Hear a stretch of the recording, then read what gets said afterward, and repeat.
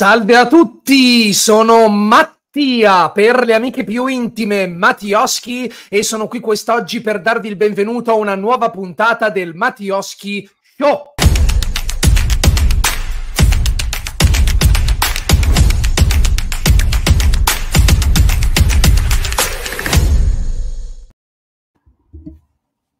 E siamo qui anche quest'oggi per parlare delle ultime notizie dal mondo del cinema e delle serie TV. Lo facciamo in compagnia di Scream, di Stroncando l'Orrore. Salve! Salve, salve a tutti. Anche oggi sono da solo e mi sto preoccupando perché ultimamente in queste prove uh, letali del Mattioschi Show non ci sono vincitori, eh, solo vinti, solo vinti. Dovete impegnarvi Fatevi di più. sotto! C'è Esatto. spazio per tutti nel mese di aprile, la Pasqua di resurrezione, saremo pieni di cioccolato e allora fatevi forti e venite.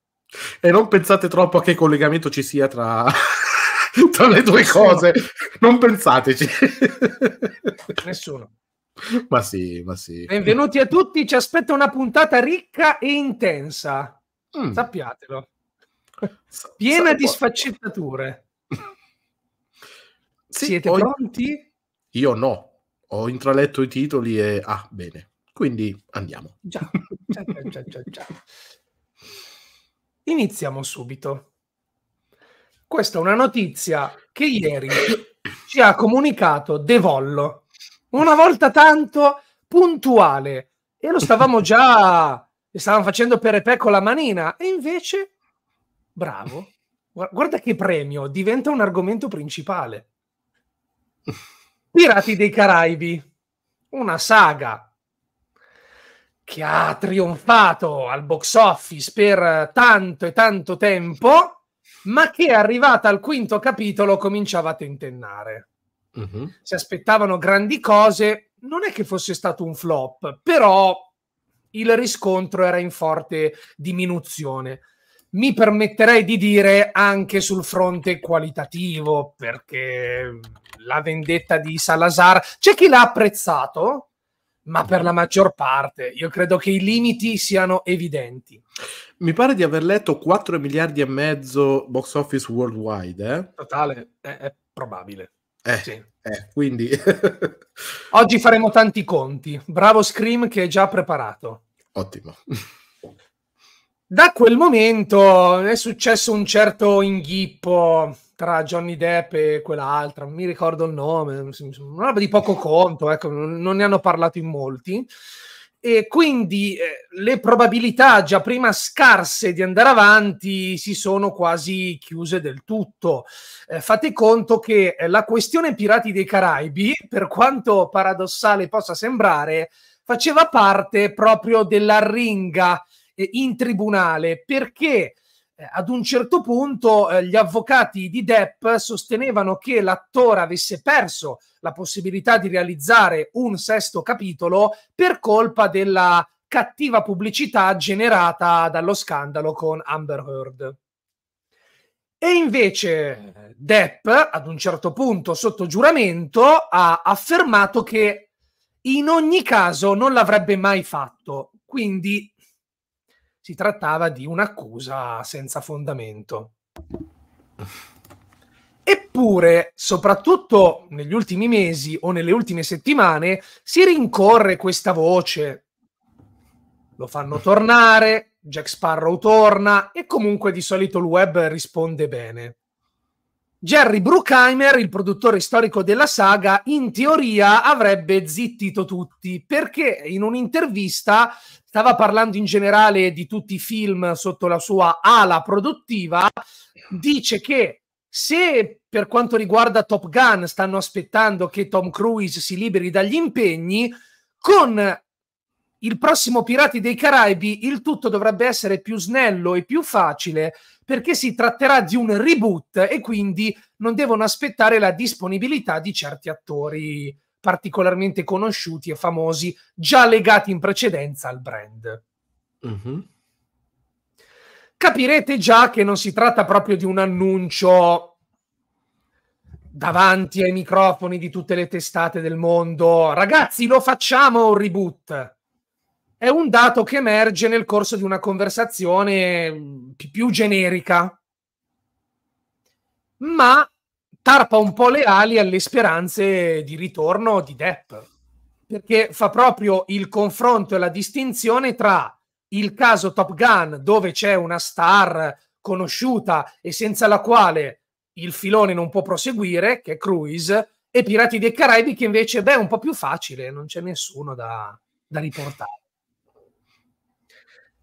Quindi la volontà produttiva mi sembra chiara e mm-hmm. possiamo parlarne, è giusto e sbagliato, però aggiungo un altro elemento. Io non sono proprio convinto della fattibilità di Pirati dei Caraibi 6, lo chiamiamo 6 in generale. Se fosse un reboot, probabilmente dovremmo alla numerazione singola.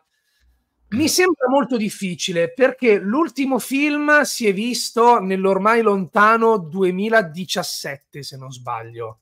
Quindi di acqua sotto i ponti ne è passata parecchia. E da quel momento hanno sempre cercato varie strade, si sono succedute voci. Ad un certo punto si parlava di un rilancio con Margot Robbie, poi eh, si parlava invece di Karen Gillan, quindi una sorta di eh, rinfrescata al femminile. Poi serie su Disney Plus, tante vie che non hanno mai trovato compimento. E Bruckheimer ne parla da molto di sto cavolo di nuovo Pirati dei Caraibi, ma non si è ancora visto nulla. Quindi forse non è così facile come lo fa passare. Mai dire mai, magari se l'intenzione c'è riusciranno a produrlo. Mi domando però se il mercato è ancora favorevole, se c'è un pubblico pronto ad accoglierlo, soprattutto a fronte di quella che pare essere la notizia indicativa. Johnny Depp, Jack Sparrow, ce li dimentichiamo, o almeno ci dimentichiamo di questa incarnazione. Trattandosi di reboot, magari uh-huh. c'è un altro Sparrow interpretato da Timothy Chalamet. No. Perché? Vabbè. Che poi in realtà il personaggio di Jack Sparrow, se ci pensi, mm, non è così difficile da... non è così difficile da fare un recasting per personaggio di Jack Sparrow. Lo so che lo colleghiamo a Depp, però e lo ha praticamente delineato e definito in una maniera molto particolare. È vero, è suo. Però io anche soltanto a girare per le, per le fiere vedo dei cosplay incredibilmente non solo somiglianti a livello estetico, ma anche a livello comportamentale. E penso che un attore con i lineamenti giusti, una volta che entra un attimo, eh, potrebbe tranquillamente sostituirlo. Cioè, adesso io non è che lo voglio, però intendo dire, non è se non c'è Depp non c'è Sparrow per forza, non è che Depp uh, c'ha il contratto, se c'è Sparrow ci devo stare io per forza, eh, insomma, non credo almeno. No, mi domando se gli spettatori sarebbero favorevoli alla sostituzione. Già i recasting in genere terrorizzano. È vero, però... E questo è un personaggio iconico. Però Spa- Jack Sparrow è... ha così tanti dettagli, uh, con le treccine, la barba, il coso... Tu davvero basta che becchi l'attore con i lineamenti, non te ne accorgi neanche. Cioè, è presente... Mark D. Hammer potrebbe fare Jack Sparrow, va bene?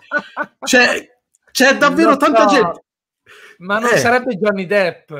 No, ma... Io sto cercando, personalmente, se il film fosse bello me ne fregherei, ma sto cercando di calarmi nei panni del pubblico più generalista. Quello sì, che leggiamo certo. sul web, quello che nel processo aveva gli striscioni, forza Depp.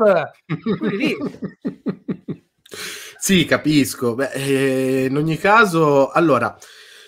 Eh, torniamo quindi un attimino sul tema qua principale. Sarà un reboot, ci crediamo, non ci crediamo così. Secondo me lo dovevano iniziare prima, una cosa del genere. Cioè, già dal quarto capitolo dovevano iniziare a pensare se volevano fare cose da capo già da lì è un po' tardino, magari. Comunque, eh, creare qualcosa si può creare. Io non vorrei che in realtà dietro le quinte avessero già qualcosa di pronto che prevedesse il ritorno di certi personaggi, solo che leggere tra le righe delle dichiarazioni del produttore Uh, non hanno voglia né tempo di aspettare che certi attori si liberano dai propri impegni e hanno fatto delle modifiche alla bella e meglio per dire sì sì sì facciamo una cosa veloce ma facciamola non vorrei che in realtà questo reboot nascesse da una cosa del genere non si può sapere non escludo questa possibilità se hanno delle idee per rilanciare la saga o per dare nuova vita, oserei dire, alla saga, ben vengano. Sempre l'importanza sta nella scrittura e nei personaggi. Ora come ora è difficile immaginare di rimpiazzare il, l'icona di Jack Sparrow con qualcun altro che uh, trascina in modo grottesco e divertente un po' il film. Che poi ricordiamo che Jack Sparrow non è il protagonista dei Pirati dei Caraibi, anche se ne è il simbolo. Um, però non è impossibile, si può fare, ter- cioè, vista l'epoca, vista l'ambientazione, basta che ci metti il classico truffatore da quattro soldi, molto bravo, eh? Gli dai qualche carattere. Se l'attore è bravo e se è scritto bene il suo personaggio, credetemi che mm, ci potrebbe stare chiunque. L'importante è che lo sostituiscano, cioè sostituiscano quel buco, ecco. non, non, posso essere né ottimista né pessimista. Uh, voglio sperare che buttino fuori qualcosa veramente di uh, dignitoso che ne giustifichi il, il, ne giustifichi la ripartenza. Ecco. Io sono un po' scettico, uh-huh. a prescindere o meno da Johnny Depp. Iniziamo dalla, dalla prima ipotesi che vorrebbero uh-huh. in tanti. Lui ritorna ma sarebbe una buona notizia? Forse ve lo siete dimenticati, soprattutto nel quinto film. Era bollito, bollitissimo, ma non solo Depp che doveva interpretarlo e secondo me era palesemente svogliato e a giudicare delle indiscrezioni ubriaco fradicio, davvero. Ma proprio come scrittura, ormai era ridotto a un buffone che non ne azzeccava mezza, Jar Jar Binks. Se riusciva a fare qualcosa era sempre per fortuna sfacciata. Nel, nel primo film era sempre un personaggio pittoresco e sopra le righe, però anche temibile. Certo. Poi andando avanti è diventato la macchietta di se stesso. Quindi capisco l'affezione all'attore, ma in generale io non vorrei rivederlo ma mm. proprio no. Forse non vorrei vedere neppure un altro Pirati dei Caraibi, ma non per malvagità. È una saga a cui io voglio molto bene, in generale mi piacciono i pirati. Se poi me li mettete in un contesto fantasy, stile Monkey Island, godo ancora di più. ma mi sembra che non ci sia più molto da dire. Il reboot va bene. Cosa racconti? non metto limite alla fantasia degli sceneggiatori, certo, ma in senso generale, dopo cinque avventure, io veramente non saprei dove rivolgermi. Una nuova maledizione? Ancora. Mm. Triangolo delle Bermude. Eh. Forse fossi loro, visto che ha ragione Scream, all'inizio non era il protagonista Jack Sparrow, ma lo è diventato in corso d'opera. Forse punterei su una sorta di ciurma alla Guardiani della Galassia dove tutti hanno uno spazio bene o male equivalente. Quindi non si ragiona sul personaggio singolo, ma su un team di scapestrati che vengono caratterizzati e l'unione fa la forza. Quella potrebbe essere una chiave di lettura. Ma mi pare che non ci sia più molto spazio. Non... Sono d'accordo sul fatto che questi personaggi non hanno più tanto da dire, però se pensiamo sempre all'ambientazione, è facile trovare ispirazione in leggende dell'epoca, storie sui mm-hmm. pirati, è facilissimo. Cioè, basti pensare a Edward Teach, la storia del pirata Barba Nera, che in realtà il suo impero del terrore è durato un mese. Però dice la leggenda che quando la marina hanno circondato suo, la sua nave, la Queen Anne's Revenge, erano tutti a bordo ubriachi fradici, i marinai di, di, di Barba Nera, e lui, da ubriaco che neanche capiva cosa stava succedendo, ne ha fatti fuori 30 prima di essere preso, insomma, tutte ste leggende, no? Oppure la storia di Harry Morgan, che è partito, cioè che l'hanno rapito da, dal vecchio continente ed era in catene a lavorare nei campi di cotone, è scappato, è andato su un... Ce ne sono di cose molto belle da raccontare però non con, questo, non con questi personaggi. Questi hanno già detto quello che c'era da dire. Hanno usato la chiave anche del. Hanno usato anche la hanno giocato la carta dell'olandese volante anche. Di questi. Tutto. Sì, sì. Hanno Barbanera detto... c'era già poi. Sì, però io parlo della sua storia e poi la metti, la appiccichi a qualche altro personaggio. Qualcun altro. Sì. Esatto. Cioè, dico di ispirazione ce ne sono di cose che si possono raccontare. Sì, è che non mi sembra che le tempistiche siano corrette. Non è passato abbastanza tempo, ma ne è passato fin troppo. Mm. È un controsenso. Ma ricordiamoci anche che i pirati al cinema non hanno mai funzionato prima di questa saga, perché leggo altre cose. Fate l'isola del tesoro, hanno sempre a livello storico floppato i grandi blockbuster sui pirati. Tant'è vero che anche questo progetto era visto un po' storto e invece è esploso. Quindi anche per quello che non si sperimenta altrove. Eh, anche il mio film preferito sui pirati in assoluto, che era Il pirata di Roman Polanski con Walter Matthau, un floppone esagerato. Mm, sempre dispiaciuto. sempre... Ah. Ci ho sempre sofferto perché io adoro quel film. Permettetemi, per voi Hook è un film sui pirati? Film su Peter Pan, dai. Sì, è vero. Beh, ci sono i pirati, però eh, sì. non è corretto dire che... Siamo anche nel periodo popolarità di One Piece. Mm-hmm. Questo è vero. Sono scettico. E posso Molto. dire che tra noi creatori con- di contenuti italiani ci sono tanti appassionati di pirati. se ci pensi. ci sono tanti appassionati di pirati, passione sì, immagino sì, vero, anche vero, un po' trasmessa. Eh, noi italiani piacciono i pirati. Um, era incentrato su un cino, no, era incentrato su Peter Pan che doveva ricordarsi chi era, ritrovare la sua fanciullezza, il rapporto con i figli, un cino era il cattivo. Esatto. Eh... Bello fare una recensione al volo di Hook, però tant'è. È proprio tutt'altro immaginario. È molto parlo bello. proprio a, li- a, livello statistico. Tra l'altro, leggo Master and Commander andò bene alla critica. Sì, 150 milioni di budget, 211 di incasso.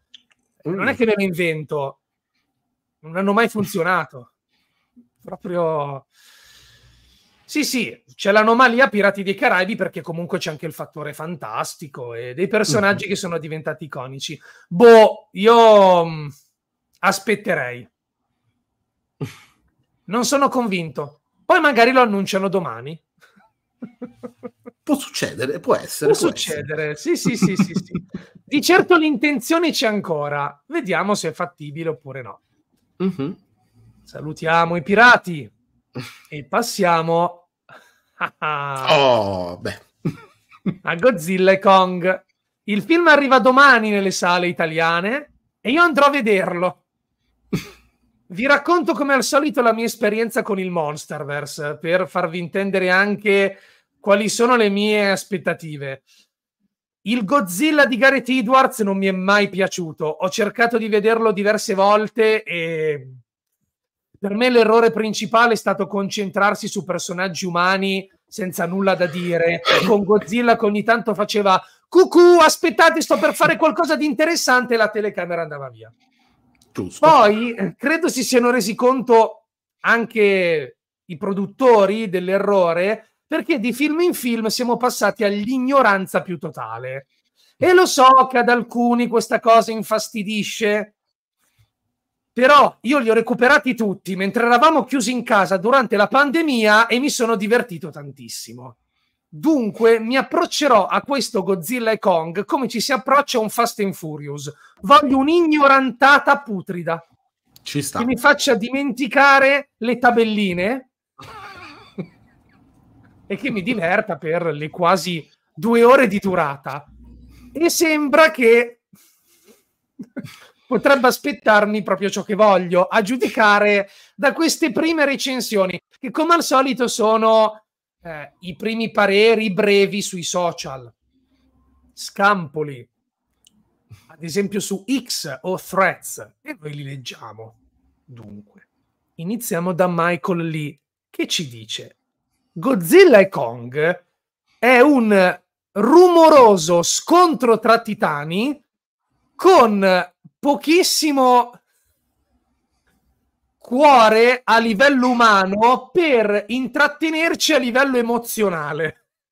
Ma il pubblico che vuole vedere solo i combattimenti si troverà davanti a un tag team match fantastico tra Godzilla e Kong contro Scar King e Shimo. Non so chi sia quest'ultimo, ma alla grande. Vabbè. Ah.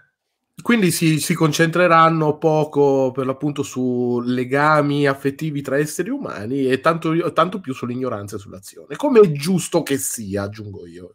Eh, mi sa. Aaron Newirth, Godzilla e Kong eh, coglie nel segno un sacco di azione selvaggia tra kaiju un cattivo brutale per Kong, un Godzilla super potenziato, l'attore Dan Stevens che si diverte moltissimo, qualche sorpresa inaspettata e tantissimi colori. Datemi più Monsterverse. Beh, fantastico. Ian Sandwell, Godzilla e Kong è il film più divertente del Monsterverse fin qui il primo dove sembra che tutti abbiano capito cosa dovevano fare. La storia è abbastanza leggera, ma gli scontri tra titani eh, valgono il prezzo del biglietto. Mm. Spettacolo. Andrew Salazar, quello della famosa vendetta di Pirati dei Caraibi, esatto. ci dice Godzilla e Kong spacca. Eh, il regista Adam Wingard abbraccia pienamente i toni di una rock opera fantasy, eh, compresa di colonna sonora con sintetizzatori, eh, inquadrature heavy metal. Com'è l'inquadratura heavy metal? Incredibilmente stupido, ma com- emozionante al contempo è una sincera lettera d'amore all'era Showa, perché magari non tutti lo sanno, ma i film nipponici di Godzilla si dividono in vari periodi, in varie ere. Credo che la Showa fosse quella un po' più camp, un po' più votata al divertimento senza freni, con situazioni bizzarre, assurde, Godzilla che fa il dropkick, eh, queste situazioni. è tutto molto bello. Leggiamo l'ultima, tanto l'antifona l'abbiamo capita. Beans ci dice: Godzilla e Kong è uh, azione senza momenti di stop tra kaiju. I fan dei monster movies lo adoreranno. Sia Godzilla che Kong prendono il centro della scena in quest'ultimo ingresso nel, nel Monsterverse. Brian Tyree Henry e Dan Stevens si divertono molto assieme, ma questo film appartiene ai mostri giganti. ok. Sì, leggo in chat, solo recensioni positive. Beh, la prima non era proprio positiva al 100%. Eh, io credo che potrebbe anche esserci una bocciatura su Rotten, perché io vedo che chi è entusiasta è perché l'ha approcciato in un certo modo. Non so se tutti i critici faranno altrettanto. Mm. Però secondo me queste prime impressioni ci permettono perfettamente di capire una volta tanto cosa ci troveremo davanti. Sì, poi c'è anche da dire che in mezzo a queste opinioni c'è qualcuno che ha dimostrato di sapere di cosa sta parlando, cioè di non limitarsi se, se, eh, al film, cioè chi ha parlato dell'era Showa, vi discorrendo, cioè per la serie, no, no, io so cosa sono i kaiju movies, come vorremmo che fossero, quindi lasciano molto ben sperare, cioè, da un certo punto di vista, queste prime opinioni, e esattamente quello che pensavo anch'io, un film più spettacolare che articolato a livello narrativo. Se vai a vedere Godzilla e Kong e ti aspetti una trama complessa, il problema sei tu. Uh, però uh, niente, cioè non ho molto da... Ce ne sono due negative se volete, così almeno equilibriamo Vai. la bilancia, ma che secondo me sono coerenti con tutto quello che abbiamo letto. Uh-huh. Eh, Germaine Lussier scrive: Godzilla e Kong è deludente. Sembra che per il 90% del tempo costruisca una battaglia finale che è sicuramente solida, ma non riesce a rispettare le aspettative. Oh, questo è particolare perché invece tutti gli altri. Eh, mm. C'è un approccio fresco dato ai personaggi che funzionano ma la storia principale non decolla mai. Dan Stevens è ottimo, però. Tanti complimenti a quest'attore, li mm. stiamo notando. E poi l'altra negativa è questa di tale Riccardo: Godzilla e Kong non è efficace come il primo film. Credo si riferisca a Godzilla vs. Kong. Le scene di combattimento non sono molto eccitanti. Addirittura. Quindi andiamo da, da tutt'altra parte. Vedete che poi su Rotten ci aspettiamo una percentuale un po' particolare, credo. Um, eh, la trama degli esseri umani è ancora peggio e per nulla interessante. Non è un film terribile, ma un passo indietro. L'atto finale è divertente, però.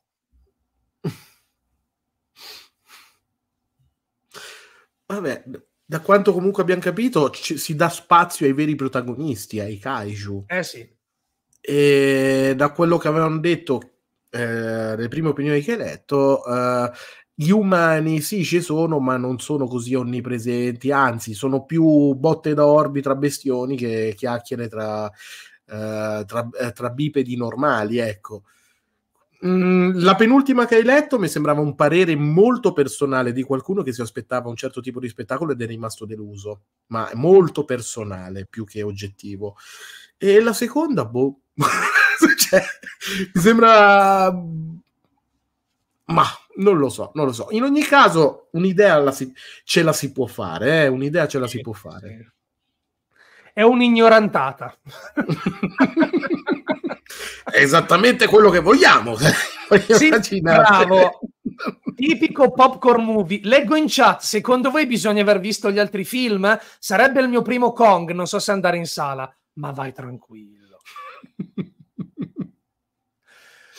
Al limite recupera il precedente. Godzilla vs Kong. Perché mm-hmm. così assisti alla nascita dell'interazione tra i due ma altrimenti se non ce la fai, ma vai tranquillo. Ti basta sapere che, ok, si sono affrontati in precedenza. Mm. Punto. Quello è tutto ciò che serve sapere. Basta. Questi si sono scontrati e via. È giù. È giù.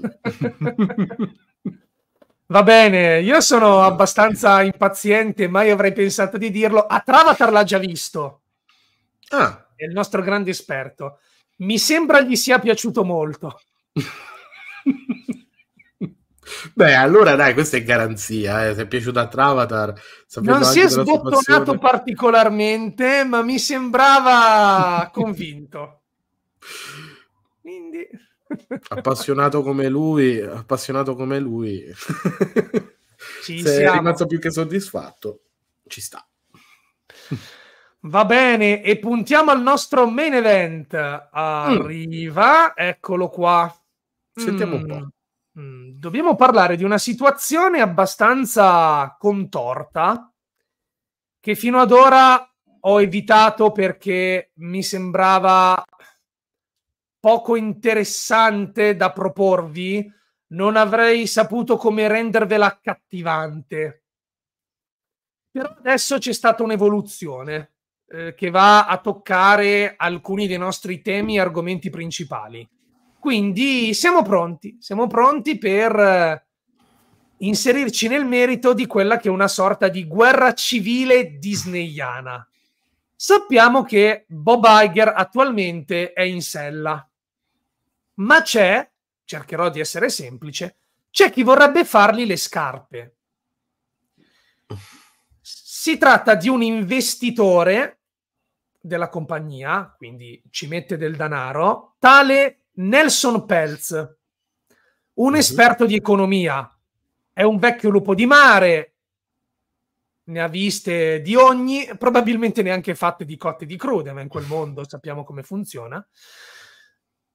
Caratteristica particolare, tra i sostenitori del signor Pelz, che in sostanza vorrebbe buttare giù Bob Iger e inserirsi agli alti piani di gestione Disney, ecco, immaginate uno Iago sulle spalle di Jafar, questo Iago è Ike Perlmutter, che se è un nome che vi sembra familiare, beh, è colui che si occupava del dipartimento Marvel Television, una sorta di rivale vero e proprio di Kevin Feige. Quando Iger ha dato il potere totale a Feige, la prima cosa che lui ha fatto è stata silurare per Matter, che quindi a questo punto è passato nello schieramento nemico. Affascinante. Vincente. Immagino sto vermilinguo che... ci sarà una votazione eh, tra gli azionisti per capire chi continuerà a gestire la compagnia. Sembra che Iger dovrebbe vincere in agilità dalla sua al supporto della figlia di Walt Disney, di George Lucas, di un sacco di personaggi. Ma il signor Pelz ha rilasciato anche delle dichiarazioni particolari che ci interessano. Perché si inseriscono in un momento in cui, almeno sul web, la Disney, ma soprattutto la Marvel, vengono viste come in crisi alla canna del gas, aiuto, che flopponi. E poi ci sono le polemiche, eh, le donne, eh, gli afroamericani. Nelson Peltz diventa simbolo e rappresentante di tutte queste correnti e rilascia queste dichiarazioncine. Un giornalista gli domanda se Kevin Feige dovrebbe essere licenziato e Peltz risponde: Non sono pronto per dire questo ma metto in dubbio i suoi risultati. Mm.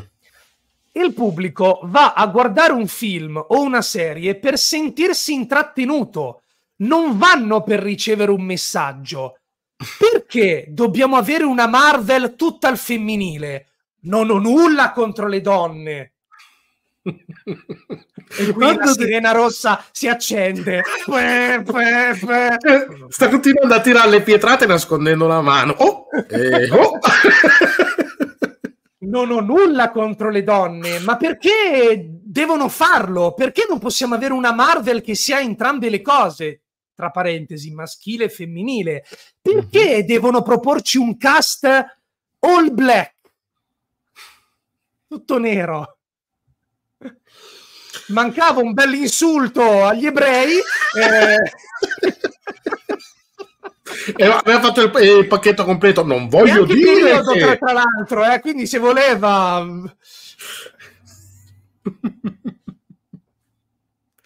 Beh, dai, dai, dai.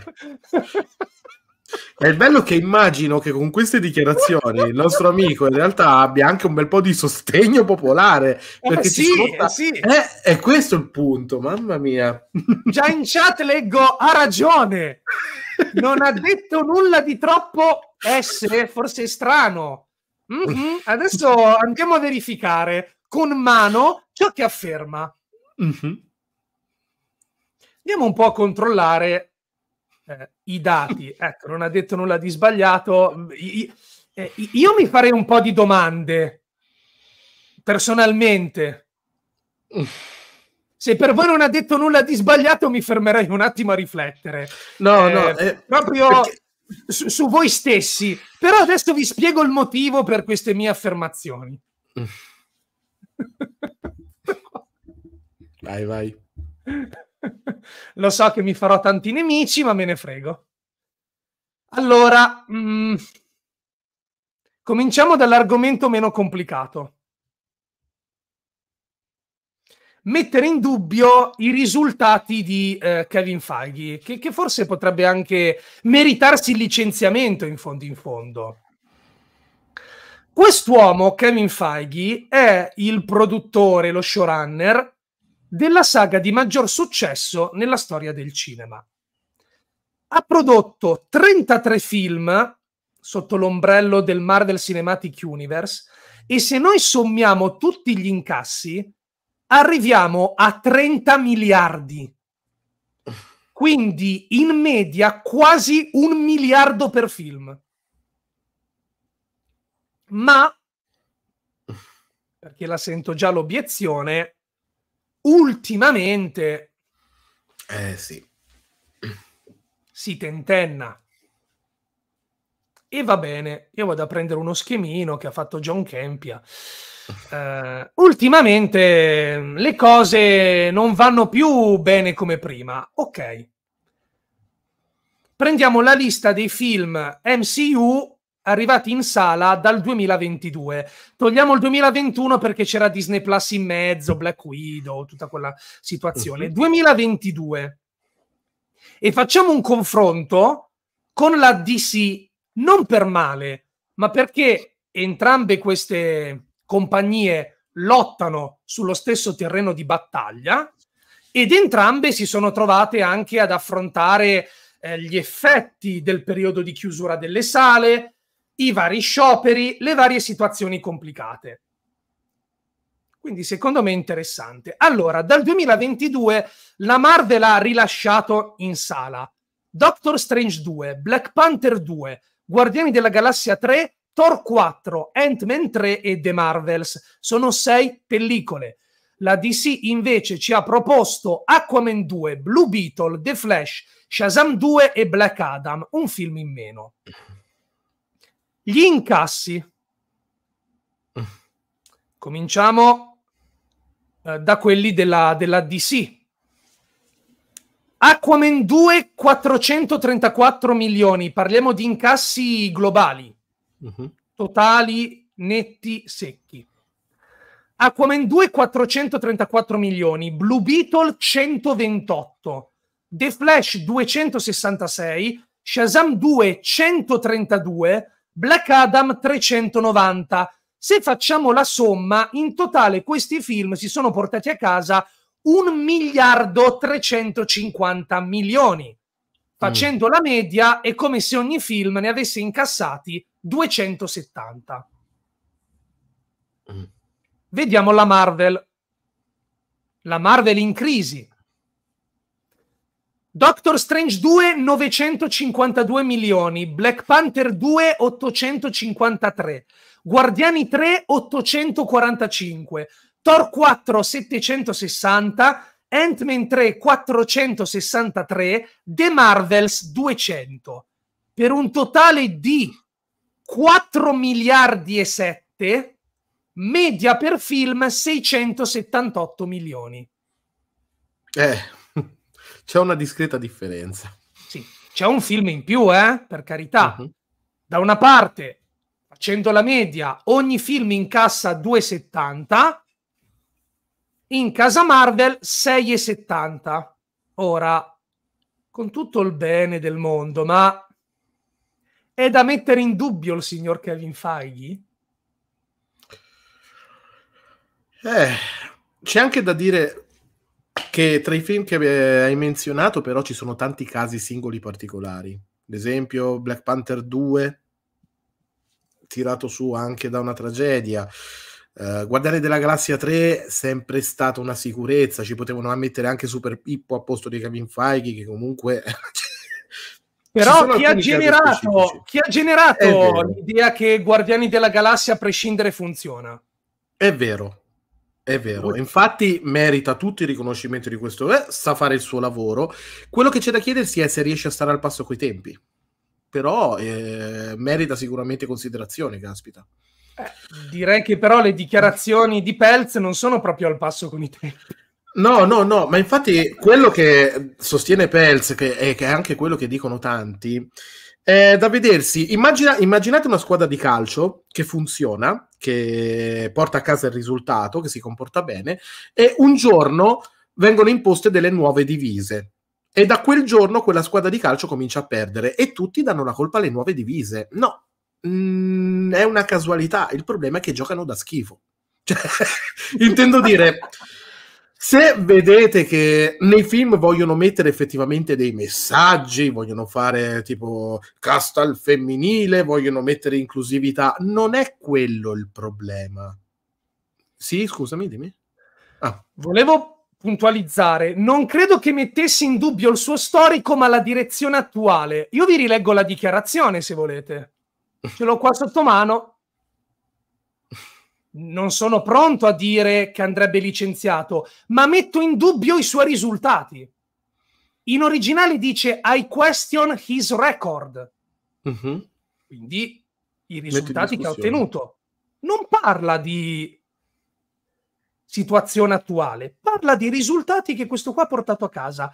33 film, 30 miliardi. È il produttore di maggior successo nella storia di Hollywood, che piaccia o meno. È vero. Chi metti al posto suo? È un casino. Ovviamente non siamo esperti, eh? anch'io non vi saprei tirare fuori dei nomi. Però...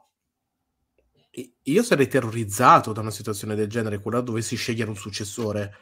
perché si parla di un impero mandato avanti in un certo modo da una persona, l'unica persona che sa veramente come deve andare avanti quella cosa lì è chi l'ha creata e tutto, che fai, chiunque gli succeda deve, deve fare un lavorone paurosissimo.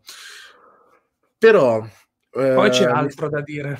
Sì, sì, volevo soltanto un attimo completare quel discorso. Intendo dire, è vero che stanno dando più importanza a volte a certi messaggi, a certe questioni estetiche che al film in sé, ma non è perché sono presenti quelle cose lì, è perché la scrittura non è all'altezza. Il problema ehm, mm-hmm. nei film che è più che altro a livello di scrittura, a volte di, di, di, marketing, di promozione, ma principalmente è la scrittura. Si può fare un prodotto che ti può mettere inclusivo, così piacevole, bello. Spesso ne guardiamo. Io adesso sto riguardando, sto facendo un rewatch perché uh, lo sto facendo conoscere alla Gioggi. Sto riguardando Cobra Kai Cobra Kai è una serie inclusiva se ci guardate bene, ma nessuno si è mai lamentato di questo perché comunque ti cattura, dei bei personaggi, è ben scritta per quello che deve offrire, intendiamoci. Um, avevo, avevamo parlato anche di From, From che non è molto famosa, è una serie a suo modo inclusiva e funziona perché è scritta bene, almeno fino a dove sono arrivati. Cioè, intendo dire, se un prodotto è brutto, non è perché vuole dare un messaggio se un prodotto è brutto, perché è brutto? Tutto male, sì, sì, sì. Ecco, Infatti, questo. attenzione, poi non mi si dica che non sono il primo critico nei riguardi della gestione Marvel moderna.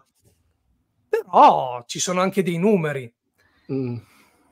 Il discorso, il pubblico vuole vedere un film o una serie per sentirsi intrattenuto, non per ricevere un messaggio.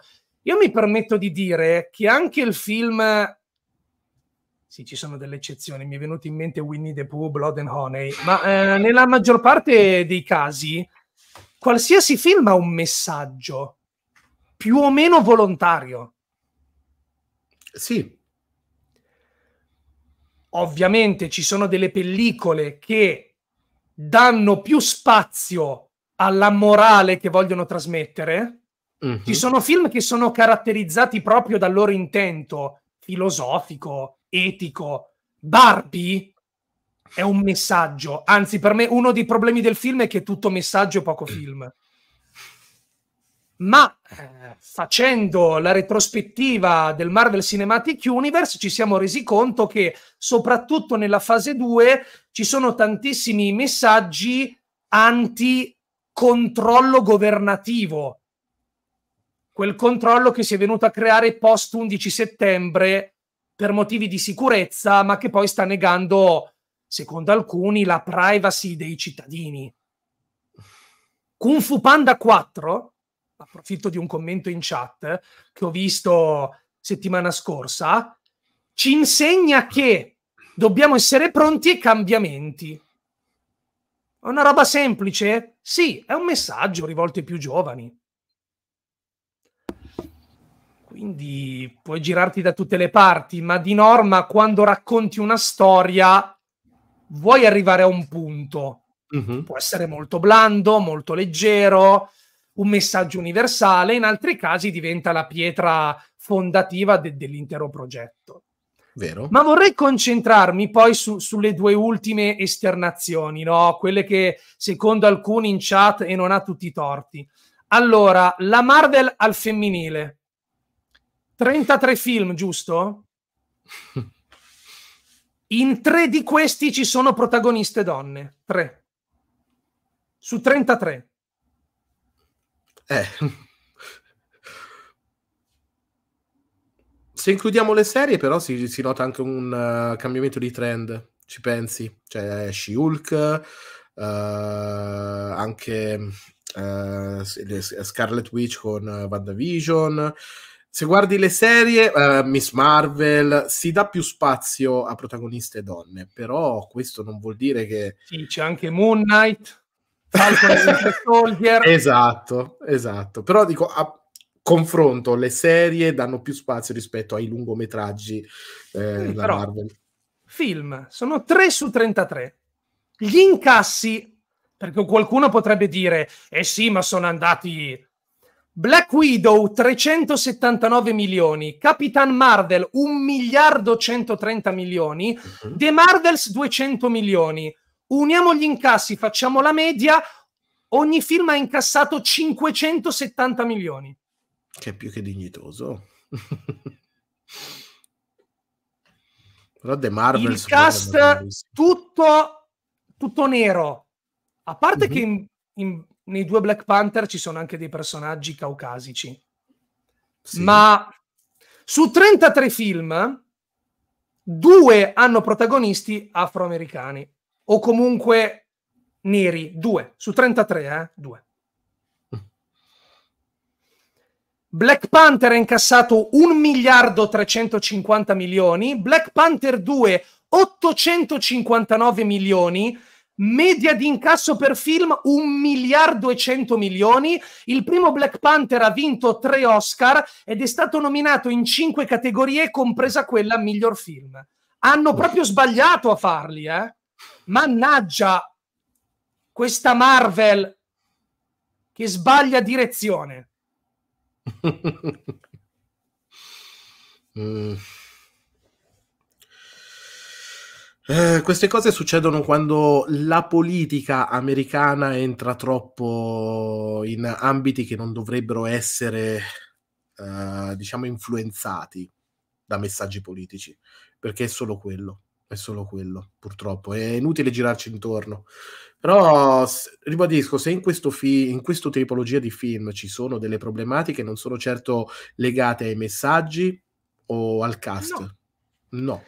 Le problematiche le sappiamo e teoricamente uh-huh. le stanno sistemando. Teoricamente. Sì, Così dicono, beh, sanno, in primis, sanno loro in primis di eh, incontrare delle difficoltà e di dover cambiare rotta. Per fortuna che lo fanno. Vedremo cosa avranno in mente, però eh, io non, non, toglierei mai la fiducia a Feighi, soprattutto perché non saprei chi metterci a posto suo e poi perché lui ha portato i risultati a casa. cioè, chi ci metti? Ma ti immagini, ma imme- mettetevi per un attimo nella mente di, ok, tu sei il nuovo Kevin Feige, vai, datti da fare. Mettetevi nei, nei panni di quel poraccio che si ritrova di fronte a una cosa, appunti, idee, persone, che de- non sai niente, non sai cosa devi fare, non scleri, scleri, assolutamente. Sì, diciamo che sta facendo il capopopolo di una corrente mm. che, come dici tu, sbaglia l'obiettivo. Mm-hmm lo sbaglia completamente. Volete che ci sia un aumento di qualità? Sperate che, come dice Bob Iger, producano meno materiale studiato meglio. Sì. e a giudicare da quello che ci dicono tutti, lo stanno anche facendo. Mm.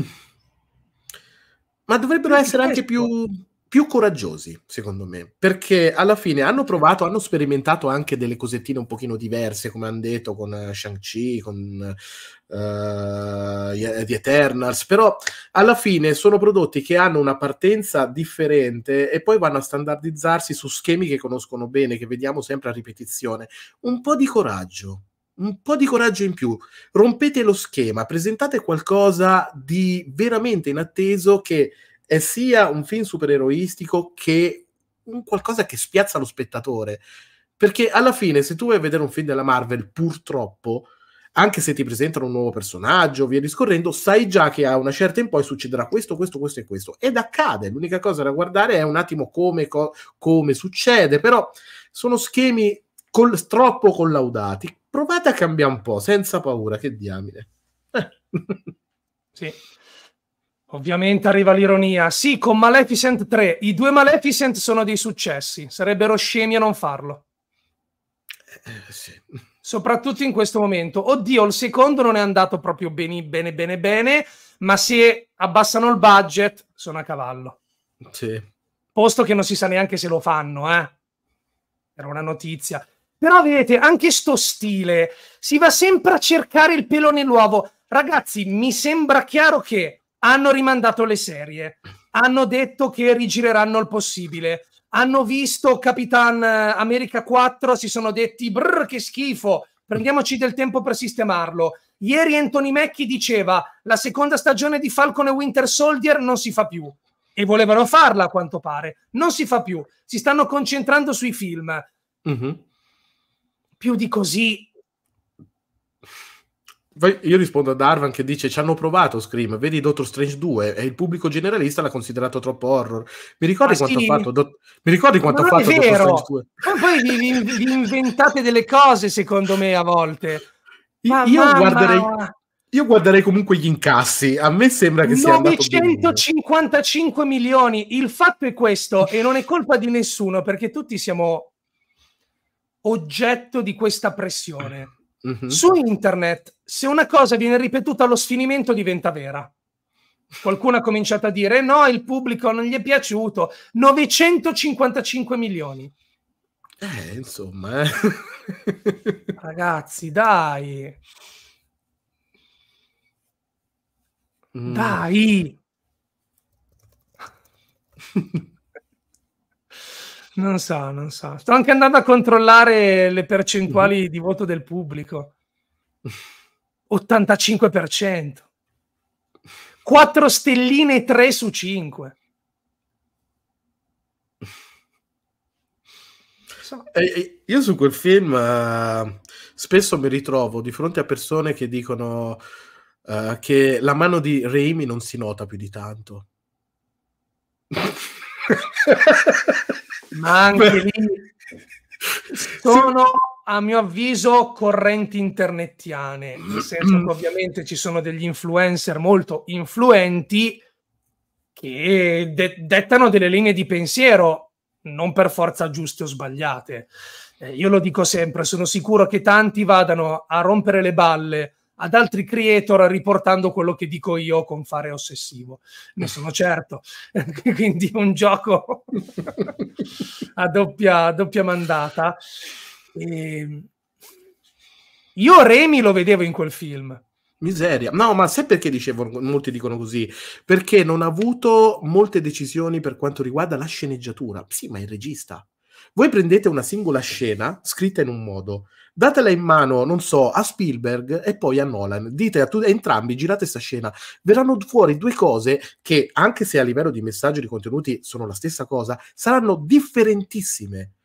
Fidatevi che que- in Strange 2 si respira Raimi dall'inizio alla fine.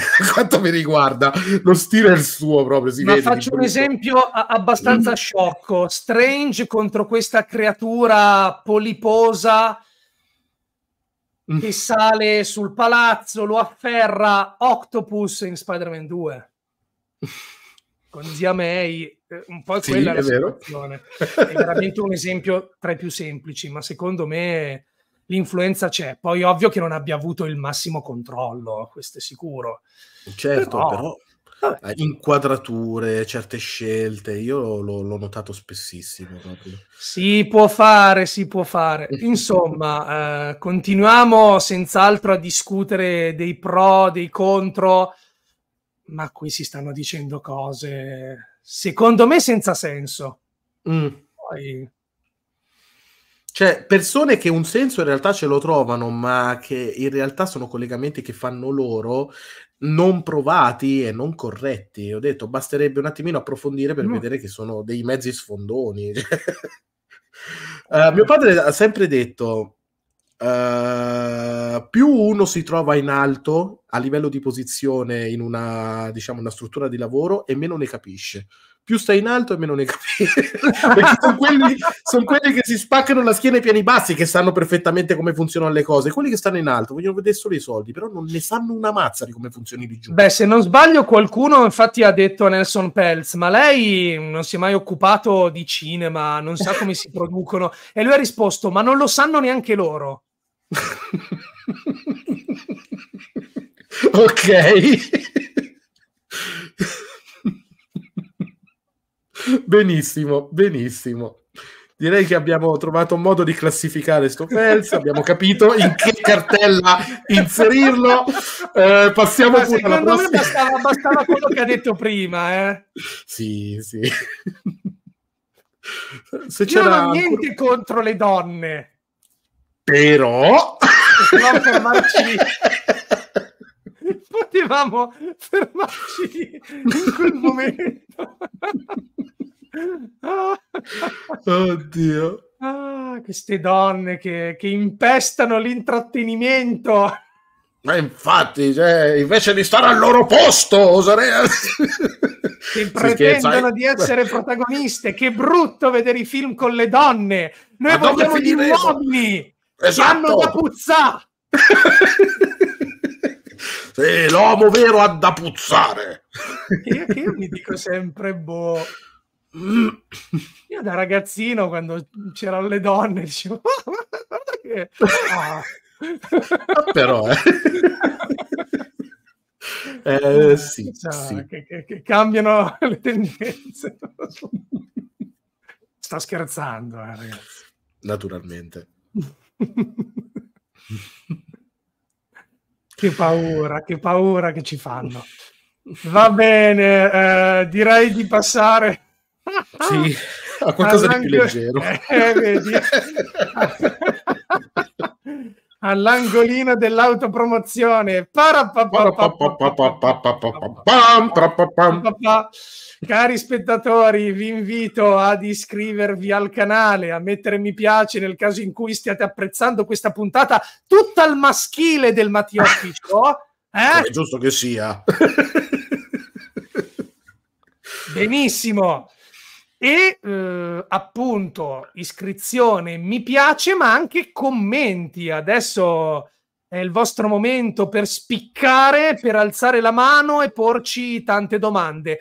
Certo, privilegeremo i quesiti espressi tramite super chat, ma ancora più spazio e priorità sarà conferito ai nostri amici abbonati. Infatti chi si abbona al canale ottiene un'ampia gamma di eh, ricchi premi, vantaggi, cotillon, giusto appunto. Ascoltiamo in primis i quesiti audio che vengono posti dagli abbonati, abbonati che ogni settimana possono assistere a due dirette in più eh, della durata di un'ora in cui approfondiamo gli argomenti, è un'ulteriore occasione per, per pormi curiosità che troveranno risposta e ci conosciamo anche un po' meglio e gli abbonati di livello più alto possono diventare ospiti veri e propri del canale nell'ambito delle puntate del Mattioschi Show del mercoledì. E pensate oggi quante cose avreste potuto dire su questi argomenti per nulla spinosi. Eh? Mi uh, ricordo anche. Dimmi. Scusa se ti interrompo un secondo, voglio solo avvisarti: mi assenterò 30 secondi. Arrivo subito. Eh, che ho bevuto un energy okay. prima di iniziare. La natura chiama. Arrivo subito. Ah, ok, ok, ok. Eh, passiamo allora a Pumpling, sito di t-shirt con stampe che fanno riferimento a tutto il mondo della cultura pop. Vi mostro quella di oggi, che omaggia Ritorno al futuro, una delle mie saghe preferite e quindi abbiamo la DeLorean di Doc Brown in vendita. Io un pensierino, tutto sommato, ce lo farei. Se vi piace questa t-shirt e volete farla vostra, vi ricordo che comunque ce ne sono tantissime altre nel catalogo del sito per tutti i gusti. Vi ricordo in fase d'acquisto di utilizzare il codice sconto Intima 8 che vi permette di portarvi a casa un paio di calze gratis. Sono calze sempre con stampe di questo tipo, colorate, divertenti, citazionistiche e il codice Intima 8 non scade mai, è sempre riutilizzabile. Quindi se l'avete già usato in passato, sappiate che è ancora valido, è ancora attivo. Ogni qualvolta vi trovate su Pumpling a fare compere, c'è sempre un paio di calzi in omaggio che vi aspetta. L'importante è usare a ripetizione il codicillo Intima 8. Abbiamo poi la partnership con NordVPN, il servizio VPN che eh, ci consente di fare tantissime cose, come ad esempio navigare in rete con il massimo livello di sicurezza, visitare siti che magari sono stati oscurati in Italia. Come si fa? Beh, possiamo collegarci in maniera fittizia da qualsiasi punto del globo per approfittare di sconti, vantaggi, promozioni geolocalizzate. A tal proposito, utilizzando il link che trovate in descrizione nordvpn.com slash Mattioschi, vi cuccate uno sconto di benvenuto 4 mesi di utilizzo gratis a patto di scegliere il piano biennale come forma di abbonamento e poi entro 30 giorni potete chiedere il rimborso totale qualora doveste scoprire che non fa il caso vostro. L'avete provato, ma quindi in sostanza un mese di prova, vi vengono rimandati i soldi. A proposito di mesi di prova, chiudiamo l'angolino parlando di HOD TV piattaforma streaming italiana interamente dedicata al cinema horror e thriller indipendente. Ce n'è per tutti i gusti, tutti in italiano, alcuni doppiati, altri sottotitolati, ma la fruibilità è massima e garantita. Ci sono chicche per veri intenditori. Scream, lo conosci Coffin 2? Mm, no, però conosco qualcosa che ha un, t- un, titolo simile che eviterei a tutti i costi. Questo mi manca.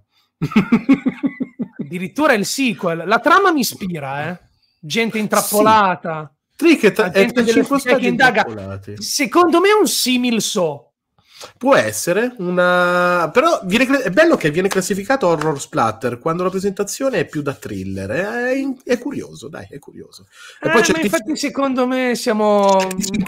dietro, guarda lì, faccia da bulldog arrabbiata. Eh, già, già, già, già, promette, promette. Comunque, sappiate che potete provare questa piattaforma per due mesi senza spendere un soldo, 60 giorni interi. Come fare? Beh trovate il link in descrizione, ma se volete essere più smart, ma io vi propongo questo codice QR. Voi lo mm. scannerizzate e vi trovate direttamente nella pagina di compilazione per approfittare di HOD TV per 60 giorni. Tra l'altro c'è anche la funzione Watch Party, quindi potete invitare altri iscritti alla piattaforma per godervi i vari contenuti, chiacchierando, divertendovi. Mi sembra un'ottima funzione. Quindi provate e fatemi sapere. So che alcuni di voi si sono, si sono iscritti, eh? ma ditemi nei commenti se l'avete testato, cosa ne pensate. Bene, a questo punto domande degli abbonati. La luce rosa oggi è andata in pensione prima del previsto, non so perché. Infatti in genere è la blu che è un po'... Eh, sì, sì, sì. Ci sono sempre, sempre sorprese. E allora, Uh, vediamo le domande, anzi ascoltiamole, e, e, c'è De Vollo che ha avuto il momento di gloria ieri, magari anche oggi, è in periodo di rampa di lancio. Vai! Ah, ma ci stiamo dimenticando di una cosa importante, Scream. No. Tu pensavi, eh? sì, ero già così. Non so se vedevo bello allegro. Sai che c'è? Che, che, tutta la questione Nelson Pelz lì mi aveva un po' mandato Ok, dai. no, forse non se ne sei accorto. Mentre eri lì che quando andavi avanti, io facevo la chat. Shh, tipo così. Guardate gli utenti disperati che stavano già dicendo. No, no, al contrario, si stanno disperando. Io sentivo ora. che mancava qualcosa, mi sentivo più eh. triste rispetto al solito, più spompato. e invece poi è Già, quel momento della settimana in cui riusciamo a depurarci da tutto questo liquame tossico del web, tutti questi flame, queste polemiche, perché quando si ride in compagnia. Eh. È il momento Eccola. dell'angolino dell'umorismo! Evviva! Evviva! Yeah. Oh, anche oggi tre barzellette sui carabinieri, tra le migliori che possiate mai sentire, che potrebbero tornare utili durante i pranzi pasquali. Siete lì con parenti che vedete solo a Natale e a Pasqua dovete spiccare rispetto agli altri, ma allora la fidanzata e il fidanzatino e il lavoro. Mm. Voi cacciate una bella barzelletta sui carabinieri. Secondo me non vi danno più fastidio. Sì, eh, saranno troppo occupati con le liti familiari dopo. Vai, vai. Iniziamo dalla, dalla, medaglia di bronzo, che secondo me si inserisce un po' in questo periodo di, di famiglie, no? Mm mio figlio Mario, poveraccio, non ha combinato granché nella vita, è solo professore universitario. Beh, il mio Ferruccio invece, modestamente, è idraulico.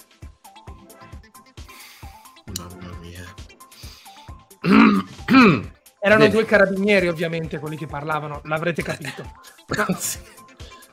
Un carabiniere sta andando al ristorante con la moglie. Ma caro, siamo sempre andati a mangiare in quel ristorante. Perché oggi vuoi andare in quello di fronte?